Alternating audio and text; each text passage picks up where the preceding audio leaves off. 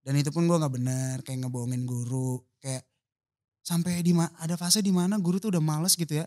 Sampai gue telat bangun mulu kan. Sampai yang akhirnya bangunin gue tuh gurunya langsung kayak Ki mau sekolah enggak? Enggak, ya udah ibu balik. Sampai gitu. Ini fun fact dari gue ya. Gue Oke. belajar banyak eh, inspirasi lagu pun gue dari lagu-lagu rohani. Halo Budak Rupiah, selamat datang kembali di Viniar and welcome to the cave. Kita kedatangan tamu yaitu Rizky Febian. Yo! Woo! Tepuk tangan gak lo? Tepuk tangan dong biar seru. Tahu anjing. Gimana?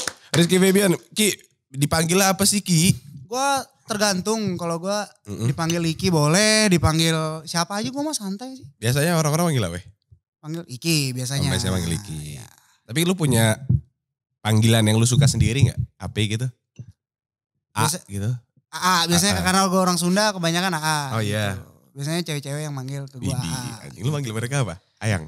Eh, eh. Eh, wah, wah gila tuh. Oke, Ki, thank you udah datang ya ke Sama-sama podcast dong, ini. gue yang seneng. senang banget eh, kedatangan lu. Udah sekitar berapa tahun kita mau datengin ya? Wah gila. Dua minggu kalau nggak salah. Nah itu baru kemarin dong kalau Iya, kemarin baru di. Baru kemarin Iya, dong. emang. Tapi thank you Ki udah datang. Sama-sama. Kita hari ini pengen ngomongin tentang elu sih Ki sebenarnya. Cuman Boleh. ini sebelum kita masuk ini ke... baru kali ini berarti ngomongin orang di depan kan. Ngomongin Iya, gua kan. iya ngomongin lu. Lu tau gak sih sebenarnya Iki tuh ya? Enggak kan ngomongin tentang elu Oh maksudnya. maksudnya tentang gue. Ki, eh, pertanyaan bahasa basi pertama apa kabar Ki? Oh baik, Iya. alhamdulillah. Baik, ini ya. jawaban bahasa basi juga Bahasa basi juga. Pertanyaan bahasa basi kedua kali ya. Padahal tadi Sibuk latihan apa gitu ya. Sibuk apa? Sibuk gini-gini aja. Apalagi karena pandemi, jadi ya udahlah. Heeh. Berusaha untuk cari cuan aja udah. Cuan aja. Namanya juga budak rupiah harus mencari di setiap harinya. Keren banget, gila. Tapi kan lu kan dari Rizky Febian, berarti lo tuh dicari, lo bukan nyari. Lo enggak, tapi kan karenanya karena adanya pandemi kan maksudnya Oh, banyak banget pekerjaan yang hilang gitu. Mm-mm. Sedangkan gue ada label sendiri, Heeh. terus juga gue udah bikin perusahaan sendiri. Jadi mau tidak mau kan mesejahterakan gue kan di situ ada karyawan, ada AP gitu. Keren banget. Gila nggak? Keren nggak? Tapi tapi udah mulai manggung-manggung lagi belum? Festival udah boleh sekarang. festival udah boleh, Karena oke. kan udah levelnya udah turun. Jadi Heeh. semenjak GP lah. Jadi Sejak GP. se- semenjak GP itu udah diperbolehkan gitu. Oh, orang motor aja boleh masuk kita nyanyi kagak gitu iya, ya. Benar maksudnya sih. kan kita dia mah motor-motoran kenceng-kencengan. Kita mah Iya. nyanyi di panggung diem doang kan maksudnya. Kagak kan nyanyi, masa diem doang? Iya. iya kan? Iya. mak- kan nyanyi. Iya, benar dibayar. Oh udah boleh nyanyi. jadinya. Udah boleh. Udah ada tawaran-tawaran manggung? Eh, udah banyak sebenarnya eh, kayak festival festival tuh alhamdulillah gue di tahun ini akhirnya banyak diundang gitu. Oke. Setelah sekian lama. Dua tahun ya berarti lu off? Iya, Sekitar kebanyakan dua tahun lah ya. kebanyakan virtual pak nggak seru banget nyanyi, cuman nyanyi terus nggak ada yang tepuk tangan, nggak ada yang ikut Kayak nyanyi nyanyi. sendiri ya? Iya, nontonin layar doang kayak gitu. Tapi berarti seneng dong ya udah bisa balik lagi Iya, menghibur orang-orang. Untungnya udah bisa balik terus festival-festival besar ter- terutama ya, maksudnya kan Hmm, itu Kayak Coachella gitu. Wah, amin, Pak. Ah, iya kan? Kemarin sih gue sempat di tadinya tuh hari ini. Ah, hari ini. Se- eh, hari ini sebelum gue podcast ini, Heeh. gue harus ke Coachella gitu. Tapi gue lebih milih podcast. Karena ke Coachella juga ngapain yang ngundang nggak ada. Emang kebanyakan orang Sunda tuh delusional ya? Kayak gimana sih? gue gak tahu soalnya terakhir gebetan gue juga dia delusional. Oke oke keren keren. Tapi kan maksudnya nggak memung nggak mem, mem, mem- mem- Tidak menutup kemungkinan nih ya itu tidak nyonyoin kan kan. Tidak menutup kemungkinan. Amin lah semoga bisa go internasional. Amin. Nah kita dengan cara gue internasional berarti lu kan harus tetap berkaya berkarya dong. Iya yang maknya kan tuh Iya kan. Nah lu kalau nih nang Hanung gimana? kasihan yang nonton harus ada subtitle nanti. Enggak maksud gue. lah gue mau dia mengerti ya. Ya gue mah paham-paham aja. Iya lu pada mikir apa? Enggak maksud gue gini, eh, nggak menutup kemungkinan tuh karena si anjing. lu lu aneh bego lu aneh banget lah yang bego tidak menutup kemungkinan kalau Kalau ya kita bisa go Internasional. Karena menurut gue tuh gue punya cita-cita Hmm, berharap gitu selain bisa go internasional tuh bisa membawa bahwa musik Indonesia juga bisa bersaing di kancah internasional. keren banget Karena gue punya patokan kan kayak Korea aja dengan bahasanya bisa go internasional. Masa kita enggak? Makanya gue bangga dengan kemarin eh siapa? Niki itu kan bawain lagunya eh, Andra and the Backbone. Andra and the Backbone tuh Hmm. jadi keren banget. Itu salah satu terobosan. Jadi siapa tahu abis ini lebih bisa dipandang musik kita gitu. keren banget ternyata selain kamu delusional kamu visioner ya Iki Ya, ya. alhamdulillah lah oke tapi eh, nah Ki so, awal-awal waktu lu jadi musisi kan semua orang bingung nih kayak, "Ah, wih siapa nih ada musisi baru nih, Yoi. oh dia anaknya Sule, Sule, gitu kan. gue gue mengerti sekali Ki kali diperbandingkan dengan Betul eh, sekali. orang tua tuh. Nah tapi di awal orang tua tuh dua-duanya dukung. Banget. Dia nggak pernah mau lu jadi dokter gitu, PNS kayak apa kayak. Nggak pernah. Jadi bokap gue tuh setelah gue SMP tuh dia selalu bilang bahwa apa pun yang lu mau, udah lu jalanin aja. Tapi lu harus tanggung jawab dan lu harus tahu resikonya seperti apa gitu. Oh, oke. Yang penting lu fokus deh di bidang lu gitu. Semampu gue sebagai orang tua support, ngedoain gitu. Dari SMP tuh dari support. SMP. Tapi maksudnya dalam artian ketika gue pengen jadi nyanyi itu sebenarnya jadi dari kecil. Oh, oke. Cuman gue nggak pernah ngomong ke bokap, ke orang tua nggak pernah ngomong. Gue tuh dulu pemalu. Oke. Sekarang kan pemaku gue tuh suka bantu-bantu. Ah, nukang dia. Iya. Gimana kemarin ngaci? Dengar-dengar. Baru ngeplur gue. Oke, jadi nah, habis itu, pemalu. habis itu kan beban ya. Beban Maksudnya banget moral ya. orang tua di dunia entertain, maksudnya dengan pamor yang begitu besar saat itu gitu Mm-mm. kayak. Gue gak menutup kemungkinan ketika banyak orang yang ngomong, "Ah, lu mah aji mumpung karena bokap lu juga ada di dunia entertain. Gue selalu mengiyakan. Iya, iya. Tapi ketika bokap gue memberikan wadah, gue berpikir beribu-ribu kali. Karena gue tidak mau ketika gue masuk, gue tidak punya karya ataupun gue tidak ngapa-ngapain gitu. Oke. Makanya di belakang itu, gue di belakang orang tua, gue tuh casting. Oh. Terus gue nawarin lagu Kesemburan Cinta pas ketika gue bikin demonya ke Ah. label-label tanpa sepengetahuan orang tua. Oh jadi lu nggak nggak minta tolong? Nggak. Ih aneh banget punya orang dalam nggak digunain. Karena gue pengen ada proses buat gue. oh benar itu kan gitu. kesenangan sendiri berarti Iya, ya.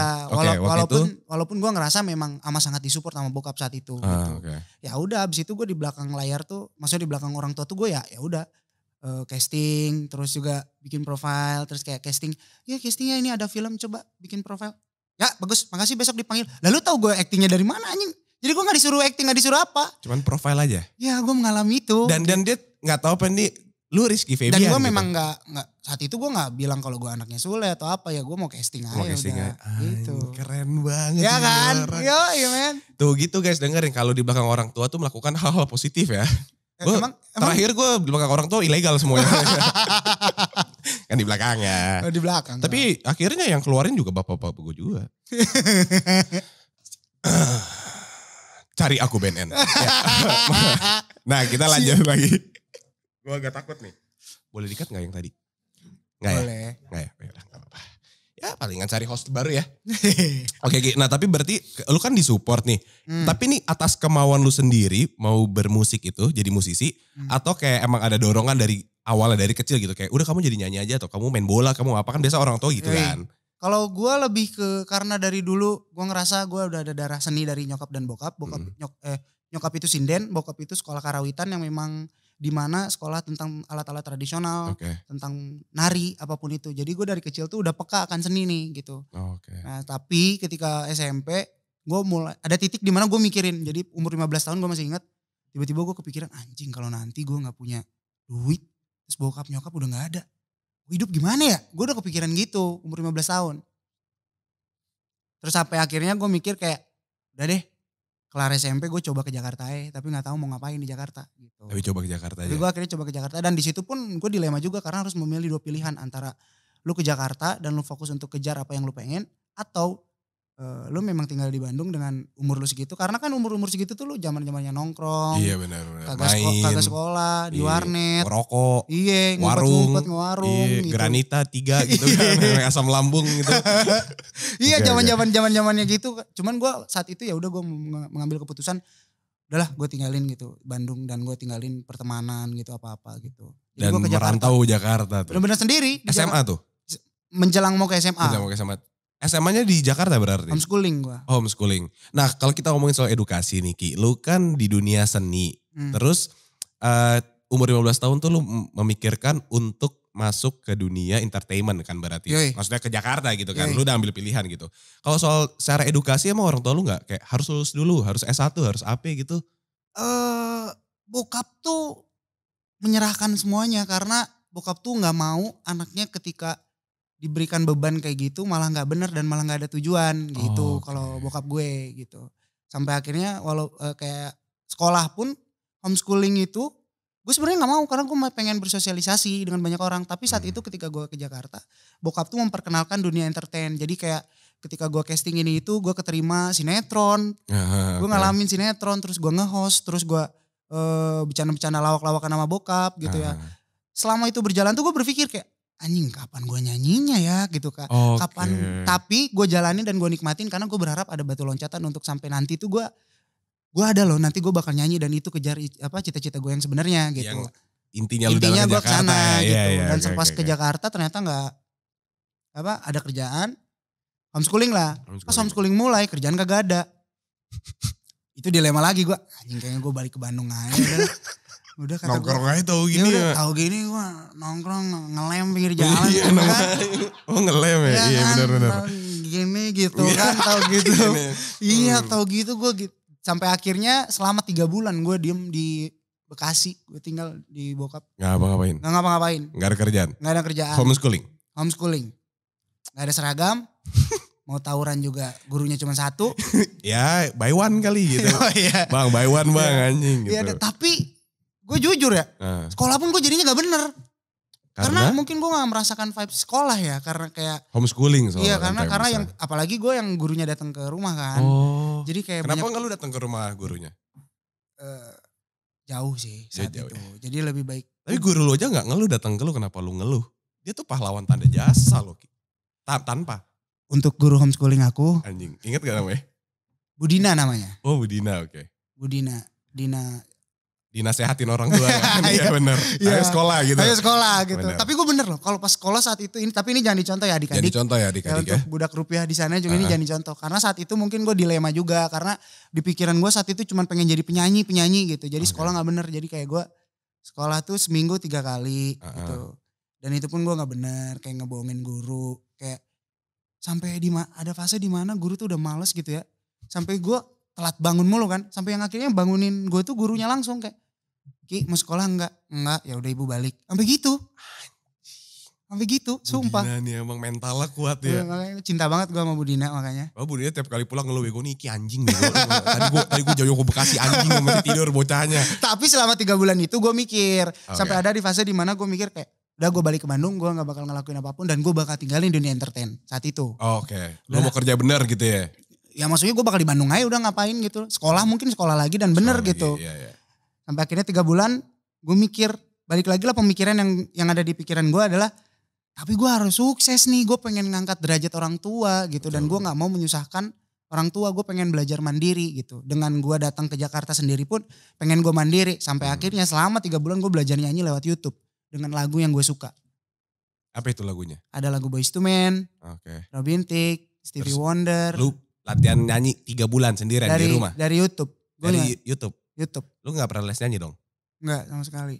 Dari YouTube? Jadi gue nggak tahu teknik vokal, gue nggak tahu cara bikin lagu kayak gimana, gue nggak tahu cara bernyanyi pernafasan yang baik dan Ah. benar. Gue cuman bisa, gue cuman gue cuman tahu bagaimana caranya nyanyi ya sesuai hati gue dan gue berusaha untuk ya gimana caranya ngenakin lagu aja gitu. Dan belajar selama tiga bulan tuh gue nyanyi udah sampai ada di fase di mana gue muak sama lagu yang selama tiga bulan gue nyanyi. Sumpah, ketika gue di kafe di restoran ada lagu itu, mbak boleh ganti nggak lagunya?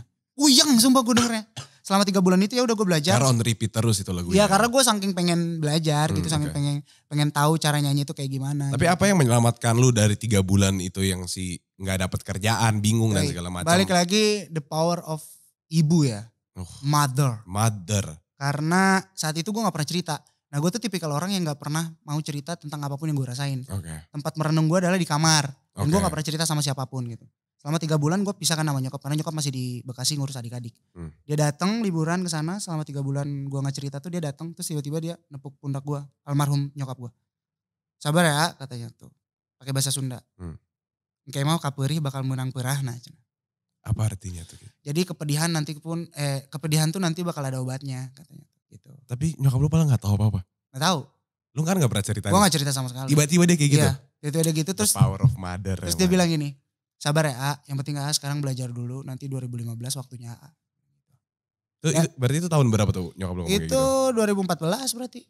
Gue masih inget Dia, di dia nyuruh lu nunggu setahun tuh. sabar nanti waktunya ama tanggal 2 eh 2015 katanya. Terus di 2015 apa yang terjadi? Tiba-tiba gue bisa nyiptain ke semua cinta. Tangan gak lu? Itu semua berarti gara-gara nyokap lu Doa orang tua, dua orang tua emang. ya kan? Makanya jangan kualat sama orang tua. kok lu, kok lu nasehatin gue? Oh iya, sorry, oh sorry. iya, sorry. oh iya, iya. Kenapa gue jadi Ayah nasehatin? ibu kalau nonton. My bad. Aduh. Sorry banget ya. udah, gua, udah, udah, lagian dia udah bagus bikin anak dua. Bikin anak gua. ya boleh gitu itu lanjut, dapet- lanjut. Oh oke. Kita nggak boleh ngomongin keluarga gua di sini kita ngomongin keluarga lu ya. Oh boleh gue Kan aja. ini kita adu keluarga kan. Oh iya boleh. Eh adu bapak dong. Boleh dong kali-kali yuk. Bapak gue. itu keren sih. kampung banget. Oke, kita nah kita lanjut lagi Ki dari si uh, perjalanan hidup lu. Yoi. Sekarang ini lu lagi mempersiapkan buat rilis dua single nih Ki. Yo, benar. Berjudul Ribuan Hati dan Dirimu Satu. Hmm. Jadi lu mau yang ribuan hati apa dirimu satu? Nah ini plot twist. Wih anjay gue suka nih. Gila nih. Sebenarnya ribuan hati itu bukan berarti gua playboy ceritanya di lagu ini. Oh bukan. Tapi di ribuan hati itu ngeliatin bahwa gue udah singgah nih di ribuan hati. Oke. Tapi gue tidak menemukan yang menurut gue bisa sejalan. Oke. Sampai akhirnya gue ketemu sama perempuan. Ya udah nih kayaknya udah ini dah yang terakhir gitu. Gitu. Sama yang dirimu satu. Dirimu satu. Dirimu satu sebenarnya maknanya hampir sama. Tapi kalau di sini lebih ngeliatin pasrah dan kayak lu pernah gak sih di fase di mana kayak kayaknya gue udah ngedapetin semuanya di gawean, rezeki juga ada-ada aja gitu. Hmm. Apa-apa udah gue dapet. Tapi kebahagiaan apa yang belum gue dapetin? Ternyata dari support system seseorang gitu. Nah lagu itu dari situ. Sebenarnya dua lagu ini tuh kan untuk dijadikan series di My Lecture My Husband season 2 Oh, Oke. yang main Reza Radian, Hmm. eh, Prilly Prilly Latukonsina. Hmm. Ih hampir salah nyebut nama. Ya Prilly Latukonsina. UITE lu. Iya makanya. Terus eh, di gue di tiba-tiba gue dadakan gitu di telepon sama pihak sana. Mau nggak bikin soundtrack? Gue nggak pernah sama sekali sebelumnya. Bikin buat soundtrack. Nah, tapi di pikiran gue kan, wah pandemi gue harus mikirin pegawai. Bener ya. Ayo kata gue tuh. Ayo nih budak budak miskin iya gitu ya. budak rupiah. Ayo sini rupiah datang kata gue. Datang. Langsung ambil. Iya. Ayo sih Kat, berapa lagu katanya? Ah, gue siapin dua aja. Mereka minta cuma satu lagu. Oh, Oke. Gue siapin dua, gue kirim ke mereka. Diterima dua-duanya. Jadi, waduh padahal ini. U- Uangnya double dong. Iya. Anjing mantap Terus, anjing. Wah dua-duanya diterima. Berarti sekian dong pak. Gue jelasin tegesin kan. gue tegesin. Dua-duanya. Sekian dong pak ini. Yang benar. Iya benar. Ya siap kalau gitu saya udah sampai Tahu gitu lu bikin album bego Ki. Nah, iya tahu gitu gue bikin 20 lagu dan kepake semuanya iya kan. anjing. Pak sekian sekian kali 20 pak gitu. Tapi akhirnya ya diterima, Diterima. terus Halo udah rupiah. Jangan lupa buat follow Instagram dan TikTok ya Volix di @volix.media. Kalian bisa ngikutin keasikannya Volix Media. Dan jangan lupa buat komen, like, subscribe YouTube-nya juga ya. Mari.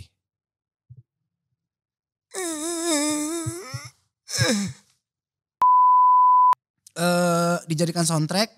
Yang satu itu memang lagu yang udah ada, yang ribuan hati itu lagu yang udah ada. Oke. Nah, lagu yang dirimu satu memang gue bikin sesuai dengan sinopsis yang dikasih. Oh, Itu challenge apa challenge banget buat gue. Jadi gue bilang langsung.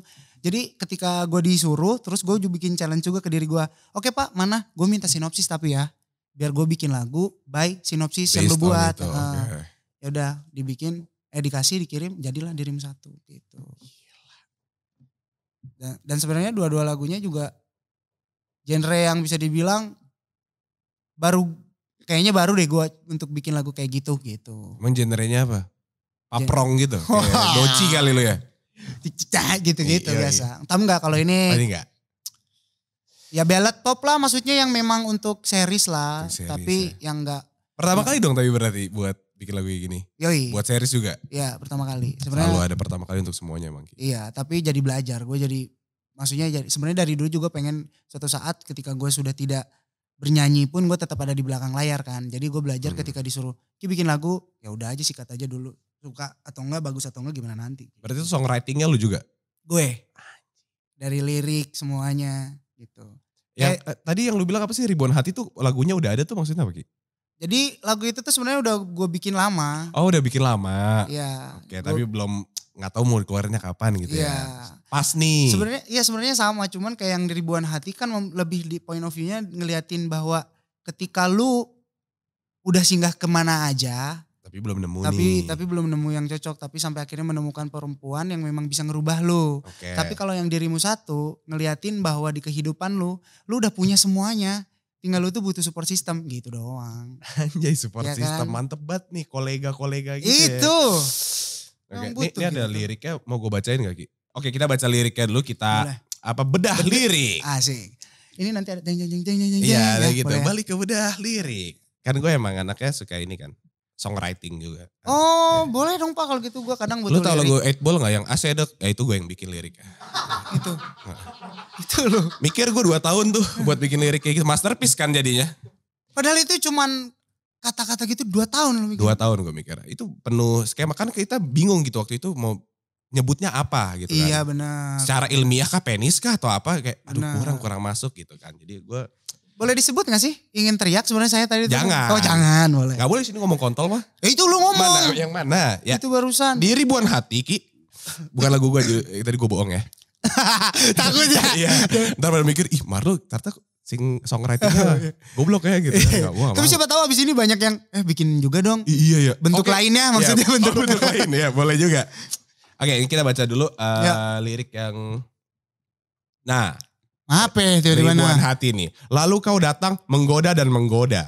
Nah, lu ini juga keren. Ini apa Niki? Jadi sebenarnya tuh bahasa ini tuh simpel. Jadi lalu eh gimana lagunya? Ah, gini. Lalu kan lagu lu kenapa lu nanya ke gua? Coba gue lihat liriknya deh. Lihat nih. Yang mana lu bacain? Ini. Tuh lagunya Hindia ya? Oh enggak nih. Ah. Siapa tahu gue salah. Lalu kau datang menggoda dan menggoda. Nah, lalu kau datang menggoda dan menggoda tuh pernah gak sih lu kayak ketemu sama satu cewek, dia diem doang. Tapi gue kayak kegoda, pernah gak lu? Pingsan ah, iya. Kagak, maksudnya gue kayak kegoda gitu pada. Dia pasif agresif gitu Ki ya. Iya, jadi kayak Iya, mungkin kayak- mungkin dia cuma main laptop, minum wine doang, digoyang-goyangin ke gue gitu. Oh. Tapi kok kayak kegoda ya gue? Gitu. Tapi gue riset ini. Oh riset. Iya. Itu bukan pengalaman pribadi dong. Ada. Ada. Oh gitu, cewek lu gaya tuh gitu. Minum wine sambil megang laptop ya buat cewek-cewek yang pengen godain Iki minum wine sama megang laptop. Abis terus itu goyang-goyang ya. Iya, Abis itu lu yang digoyang Blay. Eh, kok gitu? Sambil wine ya.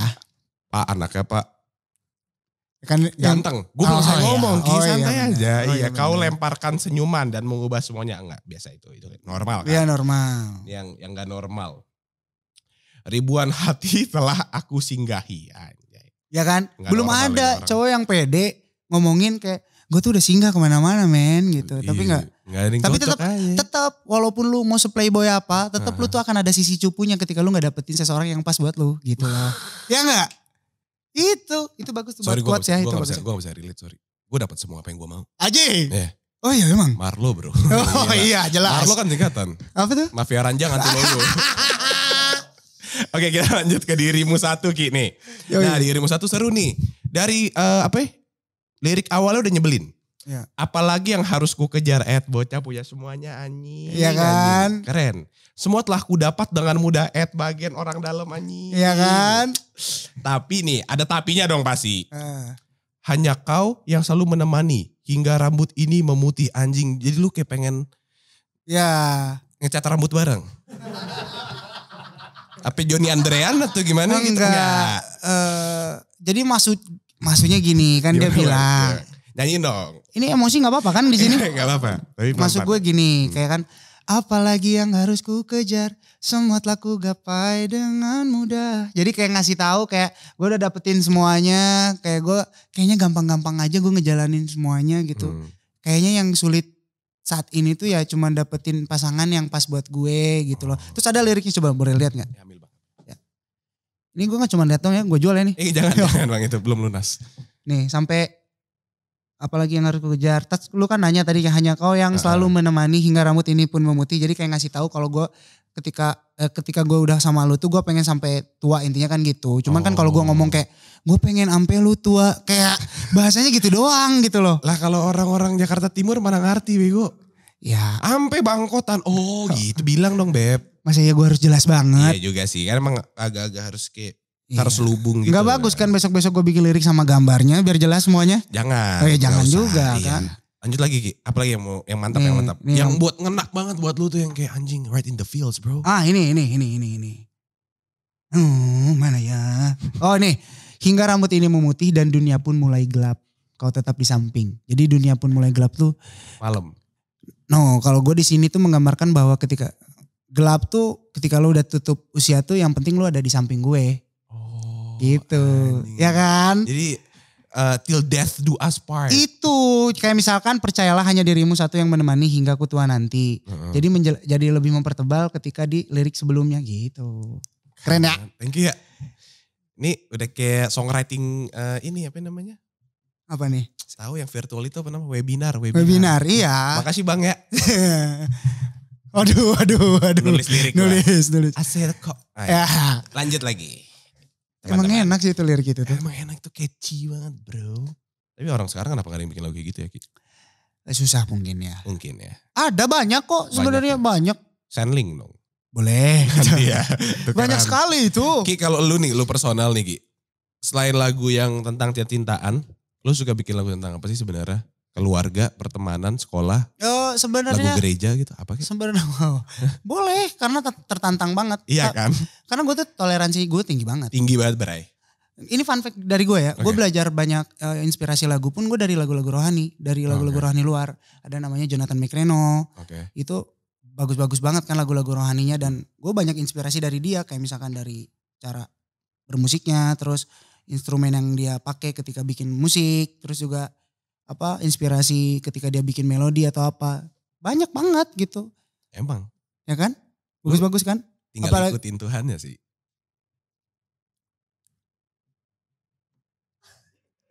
Kita lagi kurang orang soalnya. Dirimu satu. Dirimu satu. Ngomongin kan. Daripada gue blunder, mending kita langsung ke question list selanjutnya. nah, tadi kita lagi ngomongin lo itu pengen nyari yang serk nih, yang cocok dan segala macamnya. Berarti lu percaya dong dengan konsep she is the one. Ya betul. Dari mana lo bisa tahu kalau she is the one? Kalau gue ya, Ya kalau dari lo. mungkin nggak tahu ya kalau orang lain ya. Kalau gue pribadi, gue tuh tipikal orang yang nilai banget. Jadi, Judgmental. Ya dua tahun kemarin ketika gue Aha. sendiri, gue coba buat deketin A, B, C, D, E, F gitu ya. Banyak yang gak jadi, banyak yang akhirnya gue mundur atau enggak gue ngilang atau segala macem.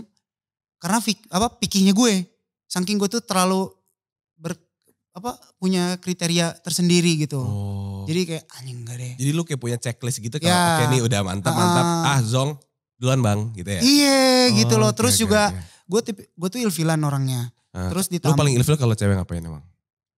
Gak tahu. Sikap mungkin ya. Gue tuh lebih ke sikap Ke aja, ke sikap. Kalau makan bunyi gitu ilfil gak? Ya, tergantung kalau mis biasa kan kalau misalnya sudah membiasakan. Iki em, gitu. Males kan? Iya.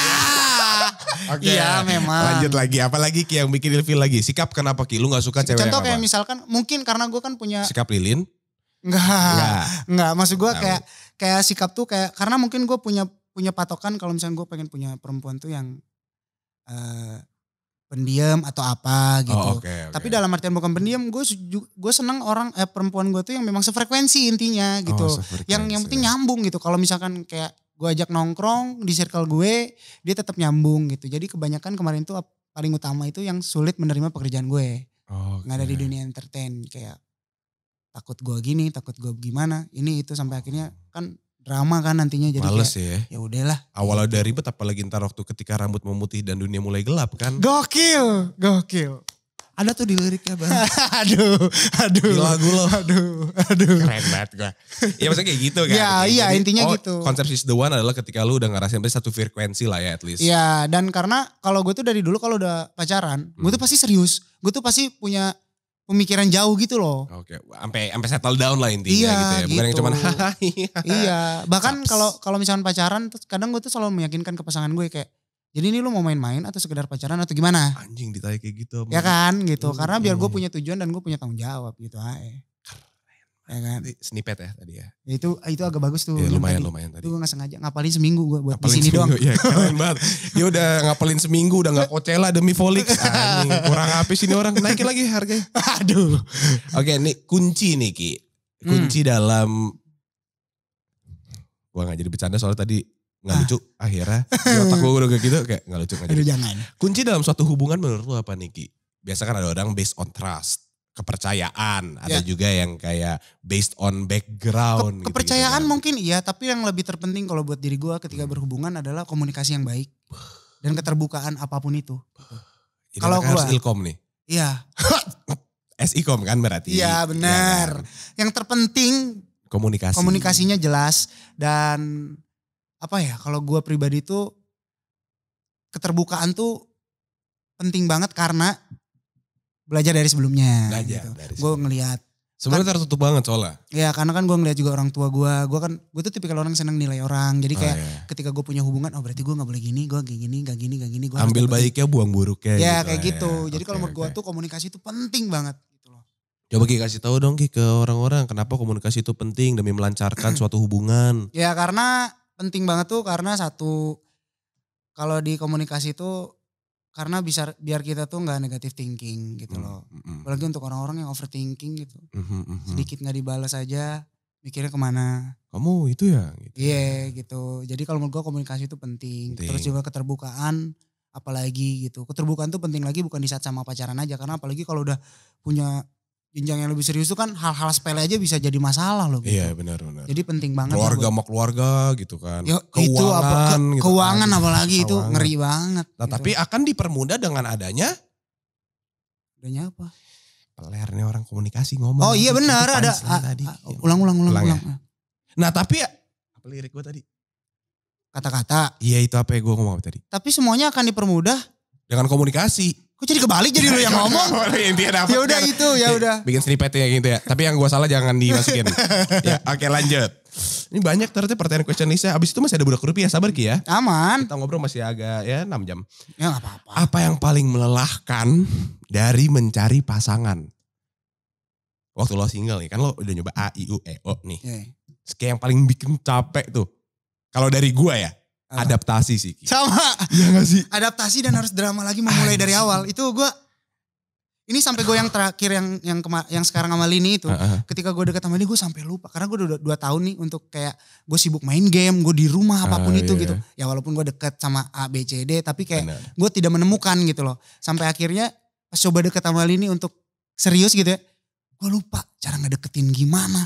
Gue untuk cara memulai untuk ngajak gue nggak ya? tahu pergi kayak gue ketemu sama dia di Bali gue untuk ngajak dia keluar untuk makan doang kayak anjing gue takut salah anjing ini gue gimana ya ngajak lama ya? sumpah sampai dianya bilang kayak gue tuh nggak bisa dipekain ngomong aja katanya gitu Oh. Iya. Jadi akhirnya lu berani aja ya udahlah. nah karena gue udah tahu orangnya kayak gitu akhirnya gue lebih berani gitu Oh, maksudnya jadi oke, kayak dan oke. dan lebih to the point kayak misalnya udahlah kita serius udahlah yuk gini gini gitu Oh lebih enak lah ya. lebih enak Nah gitu. itu karena ada komunikasi kan. itu karena komunikasi Dia komunikasi ngomong tuh gue gak peka udah langsung ngomong aja. Komunikasi tahu kan, ngomong- penting kan komunikasi itu penting, penting banget Kiing, pen- penting Oh Ya. udah Eh, pertanyaan yang penting udah hampir semuanya udah kita bahas. alhamdulillah Dari kedua lagu ini yang paling relate sama lo sekarang yang mana Ki? Gak ada dong berarti ya kan dua-duanya lah kan udah nemuin tapi tapi kan itu oh pernah Mewakili, ngerasain mewakilkan mewakili. ya. kan di lagu yang di di- dirimu satu kan itu sebuah harapan juga kayak eh gue nggak butuh apa-apa gue cuman butuh seseorang yang bisa nemenin gue dan ngasih perhatian lebih ke gue Mm-mm. dan bisa nemenin gue sampai kolot ya kan Iya. Terus sampai nanti gue nggak ada gitu nah sama pasangan yang sekarang gue gue mera- sudah merasakan sebagian yang ada di lagu itu Oke. sisanya kan nanti gitu Seberjalannya. dengan ya. berjalannya waktu gitu Keren banget. Mantap lu Ki. ah, Cocok jadi musisi dah. aduh amin doakan lah kalau itu Iya. Kapan single pertama? kan ceritanya kayak ah, itu up, upcoming Eh, doain ya talent. kak, soalnya masih belum ada label dan yang Oh iya, lainnya. ya, bisa lah lu bisa. Lagi lah. manfaatin YouTube sih sekarang lagi ngembangin. YouTube betul. TikTok main TikTok. TikTok Lu tuh harus main TikTok emang. Harus ya kayak. Harus harus karena kayak itu kan algoritmanya kan lebih Tinggi banget ya sekarang ya Ya TikTok gitu deh. ya. Ya. Eh, aku Good luck ya. Iya, good luck. Keren deh. Gitu deh kalau jadi musisi senior kayak gitu gak ya? Enggak ya? Eh, enggak. Gue dulu banyak ketakutan gitu. Ternyata enggak. Gue takut karena pertama kali gue datang ke dunia entertain gue nggak tahu siapa-siapa. Aha, Oke. Gue takut kayak anjir siapa yang bakal ngewadahin gue kan. Iya, Dan iya. ternyata justru para musisi senior lah yang ngewadahin gue dan ngangkat gue. Dalam artian yang tadinya gue berpikir bahwa ternyata ada persaingan di dunia musisi Iya, itu iya. ternyata di dunia musik itu ternyata enggak. Gue masih ingat gue tuh dirangkul sama Trio Lestari, almarhum Bung Glenn, Tompi, eh, Sandi San, Sandoro, Hmm. Sondoro, terus juga Marcel Siaan, Kang Arman Maulana. Banyak banget musisi saat itu yang ngerangkul gue. Terutama Marcel Siaan tuh udah nganggap gue tuh anak dia. Sampai dia Oh, nitipin ke kru-kru gue kalau ingat ya ini anak gue katanya tuh jaga katanya ini aset katanya bikin dia terus bisa ngembangin. Jadi gue ngerasa dirangkul gitu. Dan gue bersyukur justru ketika pas Hmm. pertama kali datang ke Den Entertain malah langsung dikenalinnya tuh yang umurnya jauh langsung dari gue gitu. Bukan yang deket-deket gitu iya ya. gitu. Jadi gue senang banget belajar jadi Ternyata nggak nggak selamanya harus kompetitif ya. iyalah Karena justru karena justru iya ya. justru gue ju- justru lebih terbuka pikiran gue gimana caranya para musisi justru lebih mengembangkan musiknya dengan cara berkolaborasi Mhm. gitu loh seneng banget makanya apalagi dengan sekarang gue label sendiri kan jadi merasa ada kebebasan jadi gue tuh sangat open banget untuk apa pun untuk bisa mengeksplor tentang musik gitu. dan segala iya, macam iya gitu ya. banget gitu loh Mantap, terima kasih lu keren. Doakan ya aja. question list. Ah, dari budak rupiah question. Oh iya, oke itu udah question pentingnya sudah selesai. Tepuk tangan dulu. Untuk jawaban yang spektakuler dari tungguin aja makanya follow dong Instagramnya @marlo. Gue ngasih info tentang dia kadang-kadang. betul benar Iya, iya, iya. seminggu sekali kan Seminggu sekali gue tiap Ya. hari Rabu tuh. updatean manggung gue tuh di IG dia Gue emang Iki Day. Iki Day. Hari Rabu. banget Iki Keren. Day. Ya oke kita langsung ke masih ada pertanyaan sekitar ada 16 pertanyaan. aman Budak rupiah question. Hai, gue Rizky Febian. Jangan lupa untuk nonton episode gua dan juga jangan lupa untuk nonton episode-episode lainnya. Jadi jangan lupa untuk di like, comment, share, dan subscribe.